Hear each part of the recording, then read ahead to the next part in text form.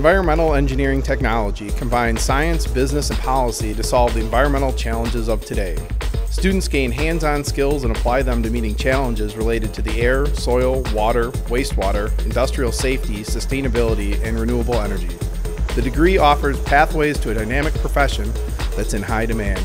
Students will gain a foundation of knowledge in many subject areas, supporting problem solving, analysis, and presentation skills in combination with advanced elective topics that support their personal interests. Our graduates find employment with both small and large businesses in environmental consulting as well as with government agencies.